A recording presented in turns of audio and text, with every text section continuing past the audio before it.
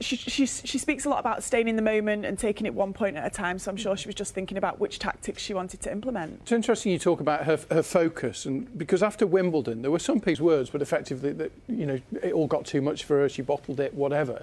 Wow. I mean, if you're going to answer your critic, and this might be a bit technical. I don't know whether I'm asking a daft question here, but how does she do that? we only can see what we see, and as I say, to, to me, she seems so poised.